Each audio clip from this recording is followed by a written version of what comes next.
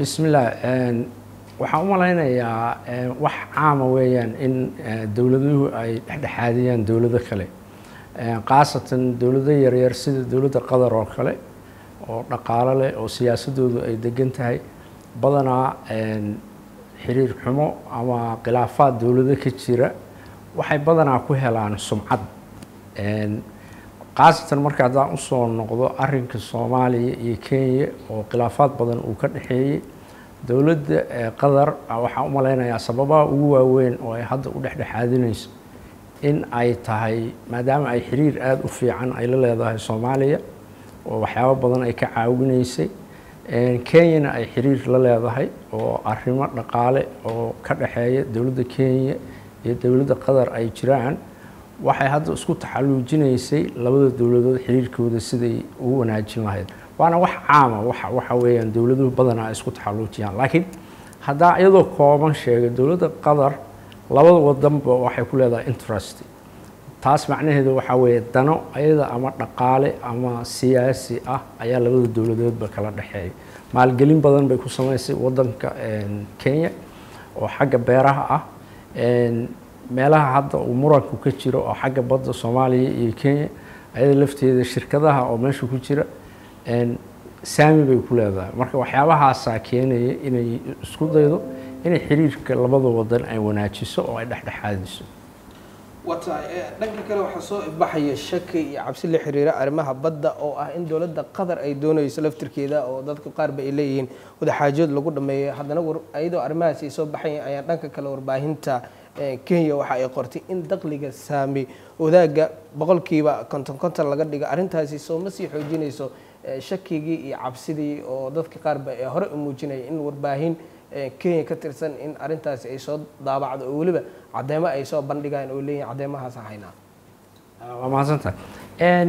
Taas waxaan u malaynaya horta jaraa-idyadu waa jaraa-idyo madax bannaan. Dowladdu badanaa ma controlsho waxay sameynayaan wax la yidhaha speculative macnaha arrimaha ayagu waayadanoo dambe oo dhan waxay ka shaqeynayaan jaraa-idyada kenya maadaama kenya ay ku fashilantay dhegeysigii maxkamadda oo caalamiga ah.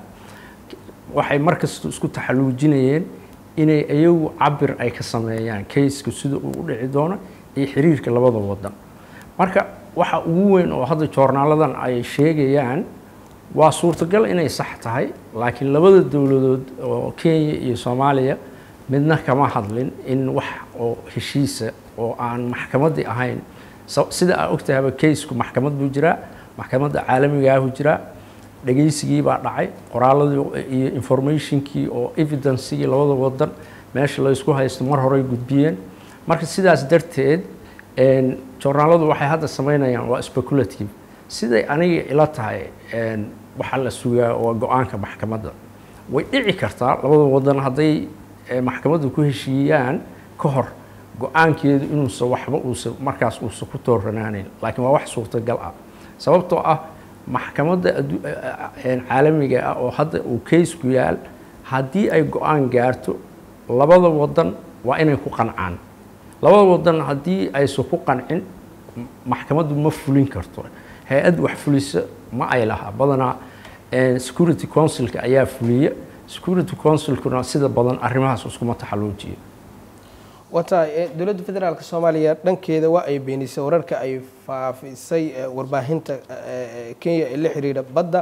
Waxaana ra'iisul wasaare ku-xigeenka uu sheegay in marnaba kiiska badda aan laga wada xaajoogi karin meel ka baxsan maxkamadda adduunka oo dacwaddu ay taalo marka go'aanka kama dambeysta ah iyadoo laga sugayay maxkamadda adduunka. Haddana wararkan kala duwan ee siba u soo baxayo saameyn ateleg ayuu ku yeelan karaa guulaha markaasi soomaaliya ay filaysay in markaasi ay ku guuleysato badda soomaaliya ee kenya ay sheeganayso. Wallaahi waxyaabahan joornaaladu qorayaan wax weyn kuma yeelan karto. Sababtoo ah maxkamadda go'aankeedu waxaa laga yaabaa in uu mar hore uu diyaar yahay maxkamadduna badanaa wax oo cilmiyeysan iyo labada dowladood evidencigii ama cadaymihii ay gudbiyeen iyo kaysas hore oo maxkamaduhu ay maxkamaddu qaaday oo saan oo kale ah ayuu go'aanku ku salaysan yahay. Marka go'aanka maxkamadda waxba kama saameynayo laakiin wuxuu wax ka saameynayaa public opinionka waxa la yidhaaho oo xagga ama soomaaliya ha noqoto ama kenya shacabka ayuu wuxuu ku saameyn ku yeelanayaa. Sababtoo joornaaladan waxay sababtan u daabacayaan waxa weeyaan public opinionka ama fikirka dadka kenyaanka ah ayay rabaan inay ay niyadda u dhisaan. Sida oo arrintu ay u muuqatana dowladda soomaaliya kayskoodu aada buu u fiicnaa. Sababtoo ah kenya dhegaysigii dambe way ka gaabis. Taasi marka waxay ku tusinaysaa kayskoodu inuusa macnaha uusan kays fiican ahayn lamana saadaalin karo maxkamadda ilaa go'aanka uu yimaado. Waxaa la wada soconnaa in dowladda qatar ay saami ku leedahay qaar ka mid ah shirkadaha shidaalka ee talyaaniga ee sahminka ka wada xirmooyin ku yaalla dhulka muranka badan ee dhaliye ee isku haysata kenya iyo markaasi soomaaliya. Taas laftirkeeda dowladda qatar meesha ay u timid arintaasi soo ma sii xoojinayso dhibaatada ka dhex aluulsan wararkan kala duwan ee arrimaha la xiriir badda ka soo baxay maadaama qeybba ee saamida ay ku leedahay? Sidaan ognahay dowladda qatar shirkadda eni la yiraaho oo shirkad talyaani ah oo meesha baaris ka samaysay ayay saami ku leedahay. Sida waxaan u malaynayaa boqolkiiba soddon inay oo maalgelinta ay ku leedahay. Marka waa laga yaabaa laakiin maxkamadda kuma yeelanayso raadraac ama saameyn kuma yeelanayso. Sababtoo ah waxaan oo joornaaladu qorayaan iyo tifiyada oo babliga ah maxkamadda go'aankeeda raad kuma yeelanayso. Sida aan marka hore kugu sheegay. Laakiin maadaama saamigii shirkadaasi muranka meelaha muranka dhaliyaba baaritaan ku sameynaysa haddii dowladda qatar ay leedahay oo soo dowladda laftirkeeda qatar soo arrintaas soo ma soo dhexgalayso. Dowladda qatar waxaa laga yaabaa sida ay hadda arrimaha soomaaliya ugu jirto iyo kuwa kenya oo dhexdhexaadin ah inay raadraac ku yeelato. Sababtoo sidaan kuu sheegay go'aanka maxkamaddu haddii ay gaarto labada dowladood waa inay ku qancaan. Labada dowladood haddayse go'aanka midka laga xugmiyey uusan ku qancin kaysku sidiisiibuu iska ahaanaya. Sababtoo ah maxkamaddu badanaa waxba ma fulisa sida aan hore kuugu sheegay. Ma fulin karto go'aanay gaari kartaa. Go'aanka markay gaarto ayadu hay'ad u fulisa ma lahan. Abiilna lagama qaadan karo oo sida maxkamadaha abiilka laga qaato maaha. Hal go'aan bay leedahay halkaa go'aan baa marka ku gowracan tahay. Labada baarti ama labada wadan oo muranka badda uu ka dhexeeyey waa inay ku qancaan. Haddii middood aysan ku qancin kayskii sidii u furnaanaya. Markaas qadar saameyn weyn bay ku yeelan kartaa. Saameynta ku yeelanaysana dhexdhexaadis markaas labada dowladood in la dhexdhexaadiyo oo kayska maxkamad banaankeed lagu gaaro ayaa suurtagala. Marka hadda lafteeda psychology ahaan iyo siyaasi ahaan labada wadanba saameynaya qadar dabcan ay ku leedahay. Oo hadda waa ogtahay xiriirka labada wadan uu soo noqday. Inkastoo uusa hadda uusa si fiican uusa ahayn oo diyaaradihii iyo duulimaadyadii macnaha la laalay oo aysa hadda socon. Laakiin dowladda qatar weli waa isku dayay. Ergeygii waatu inta yimid waatu kenya tegey kabacdi xiriirka waatu la celiyey information badan ama wax badan dowladda soomaaliya macnaha shacabka ma aysa siin. Waxaa fiicnaan lahay si fiican inay ugu sharaxdo. Xiriirka la celiyaa la yidhi kabacdina hay'adda duulista ayaa arrimihii ganacsiga oo qaadka markay yidhaaheen macnaha soomaaliya lama keeni karo qaadka kenya kenya duulimaadyada dhan ay joojisa waa tahay khabiir dhanka badda ayaa tahay oo cilmiga badda ku takhasusay wax badanna ka og. Maxay dowladda federaalka soomaaliya arrintan xasaasiga ah oo la xiriirta arrinta badda oo shacabka soomaaliyeed ay dhegta kor uga hayaan maxay tahay in dowladda ay iska aamusan tahay?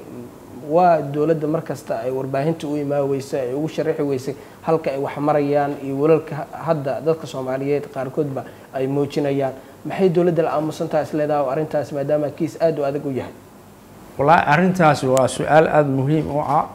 Dowladda wasiirka warfaafinta hay'adaha badaha ku shaqo leh ayaa la rabay inay ka hadlaan xafiiska madaxweynaha xafiiska prime ministerka hay'adahaas oo dhan shaqay ku leeyihiin sababto waa wax siyaasi ah waa wax aada muhiim u ah waa wax inay la wadaagaan shacabka.